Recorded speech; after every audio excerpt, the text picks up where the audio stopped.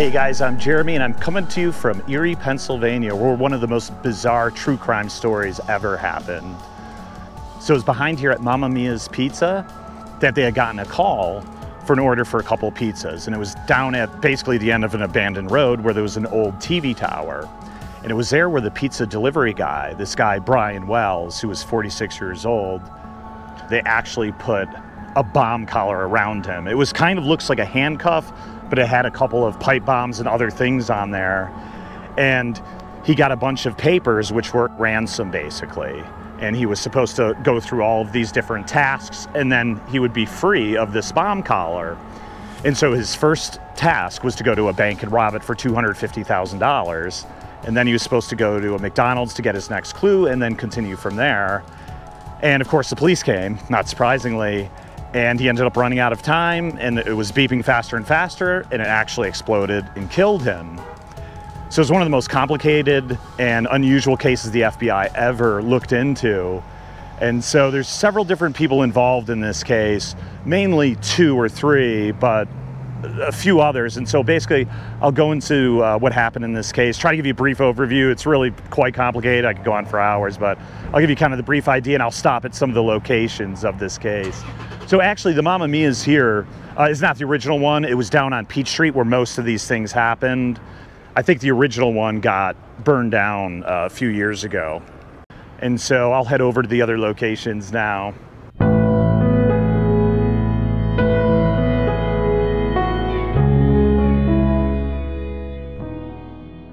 And so now I'm over at the McDonald's, which was actually his first stop after he went to the bank. So the actual bank, which is the PNC Bank, was just right nearby in this plaza over here. It's since gone. There's several other locations in town, but that location's gone now. And so that was their first bad idea, is to have them come so close because even though they're not supposed to call the police, even if the bank didn't, someone maybe inside would have called. And so he would have walked out, just drove like two minutes. And then next to this drive through here is where they had this rock. And underneath that was his instructions for his next move.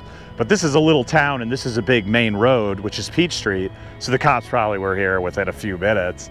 And so I'm not sure if he took this back road or if he was out front, but they got him in Eyeglass World, which is the building directly next door. So I'll go over there now. And basically what happened was, you know, they arrested him and handcuffed him and they were asking him what happened. And he said, you know, I'm a hostage. I went down to the end of the road and he lied and he made up a thing. And he said there were three black guys that had robbed him and put this collar on his neck. And he's got this whole scavenger hunt. They weren't sure what to do, but they could tell that there was definitely something around his neck. Um, when the people had put that around his neck, they also put this big Guess t-shirt on. So it was actually kind of covered at the beginning, but you could tell there's something bulging out. And once they knew there was a bomb, they were like, yeah, we don't know if this is real or not, but I don't want to get near you. And so he's down on the ground in the cop car for a bit. And then they were waiting for the bomb squad to come. But they had actually already closed off the roads around here. And so the bomb squad took longer than it usually would.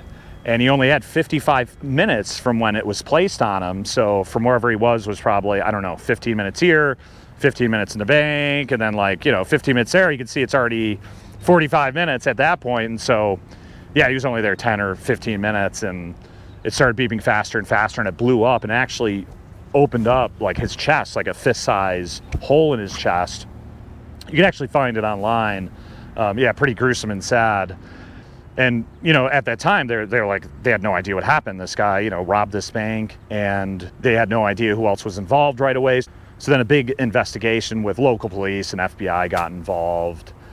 And then there wasn't really much of a clue until something unrelated to that crime, for the most part, happened three weeks later. A guy had called in and said that he had a frozen body in his freezer. His friend Marjorie had asked him to put it there.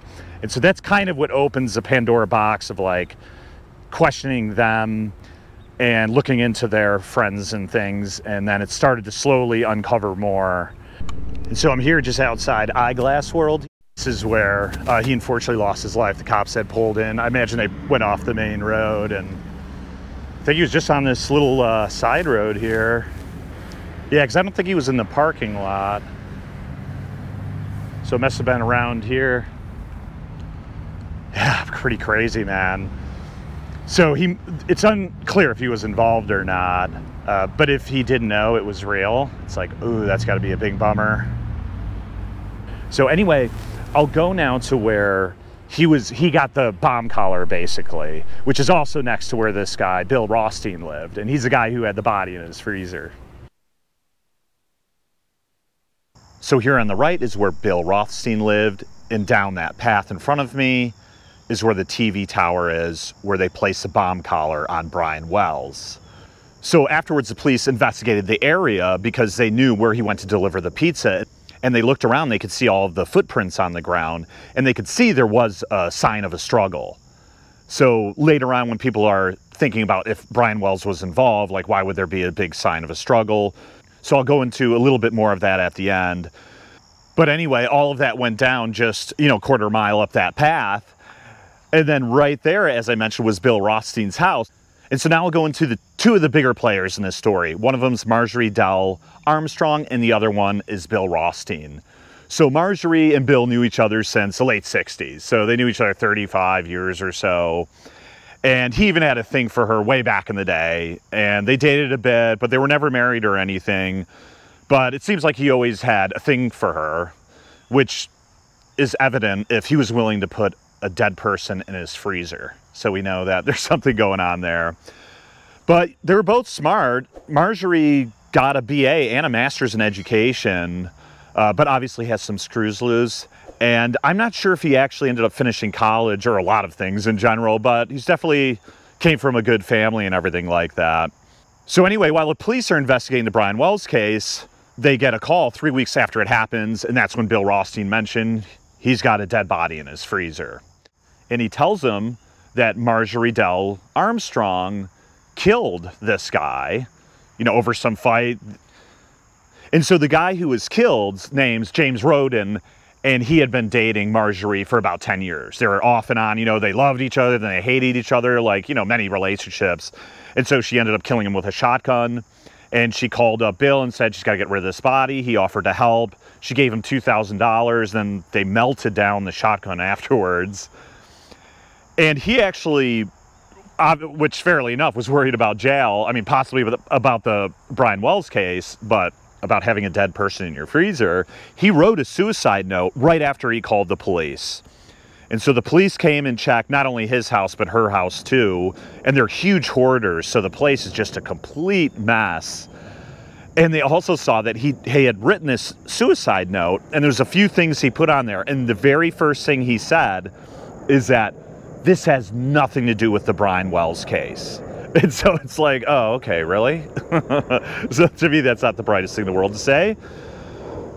They're both arrested, and he ends up getting out on bail, and he never really goes to prison because he actually ends up dying about a year later of cancer. And then she goes into jail. She doesn't get out. Eventually, on those charges, she gets like seven to 20 years and then while the time she's in jail, they're uh, they're deep into the pizza heist case, and she ends up getting convicted for that later. And this isn't the first time Marjorie's had issues with guys before. She had a couple guys in the 80s or 90s that she dated.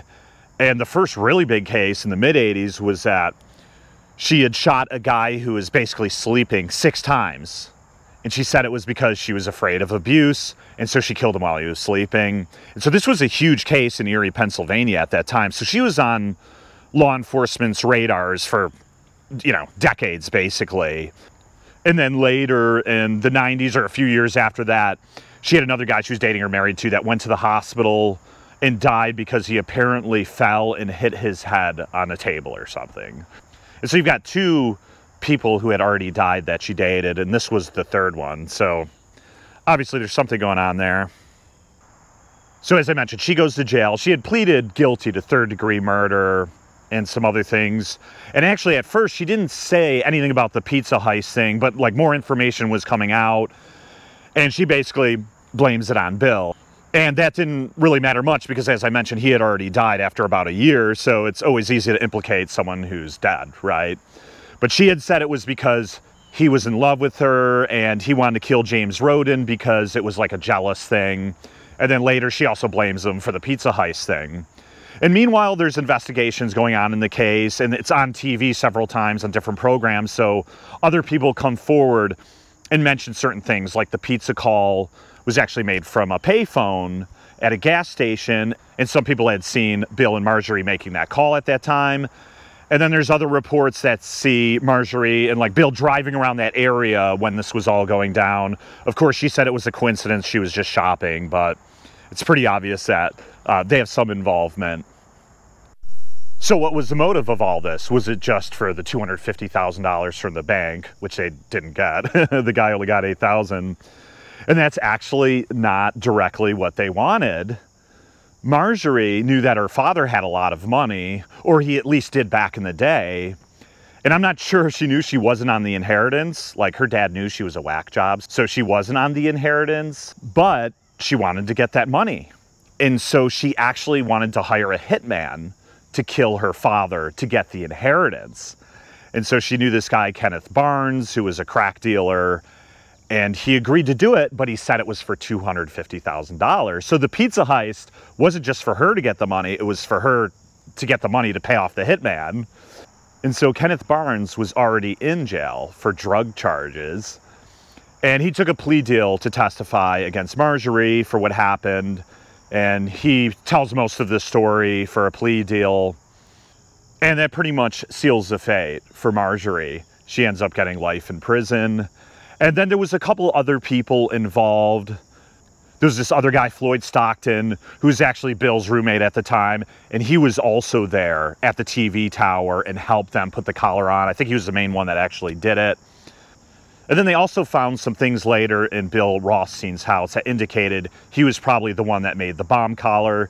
He was definitely brighter than the other people, so he probably was the one that did that especially because he was willing to take a dead body into his home. So he would be willing to make a bomb collar for Marjorie for this heist. So this guy, Floyd, who put the collar around his neck, was actually already in jail for like having sex with a mentally disabled woman in Washington. So he was already in jail too. And he was going to testify, but he had a stroke at that time. And so the connection between Brian Wells and the rest of them is through a prostitute named Jessica Hoopsick. And Brian was one of her customers. And she knew Ken Barnes because that was her crack dealer. And Ken Barnes had asked her, she's like, Do you know any guy who's not the brightest person in the world who might be able to be a fall guy in this case? And she's like, I know this really nice guy who's a pushover. Maybe you could use him for this pizza heist. And so that's kind of the full circle of all of these people that were involved. There was one other weird thing with this case. The other pizza guy at Mamma Mia's, named Robert Pinetti, was the only other delivery driver besides Brian Wells. I guess they're about the same age or so. And the police were going to go and question him, just see what he knew because they worked together. And he died like the day he was supposed to go in for the interview. Like he died of an overdose basically three days after the whole event. So that was also another like kind of unusual thing about this case. So one of the big questions in this case isn't who did it. They know it was Marjorie, who was the main person, and Bill Rothstein was definitely involved too. But it's if Brian Wells had any involvement or not. There was some witnesses who said he knew something about a bank robbery, and that prostitute that he went to mentioned the opposite, that he was not aware of anything. So there's basically conflicting information there. Was this guy totally taken advantage of? Absolutely. Like, there's no way he would have gone out there knowing there was a bomb that would detonate within 55 minutes. And what was the motive for killing Brian Wells? Well, of course, if he got caught, which he of course did, he initially said it was three black guys robbed him.